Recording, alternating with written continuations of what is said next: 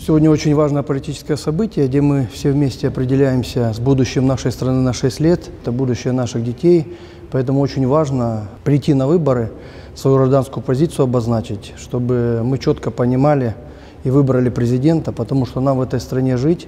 Очень важно, как э, новый президент, наш президент, будет бороться с внешними угрозами. Мы видим, что сегодня происходит. Поэтому я считаю, что нужно идти на выборы. Я смотрю, что люди активно голосуют. Поэтому надеюсь, что все придут и обозначат свою гражданскую позицию.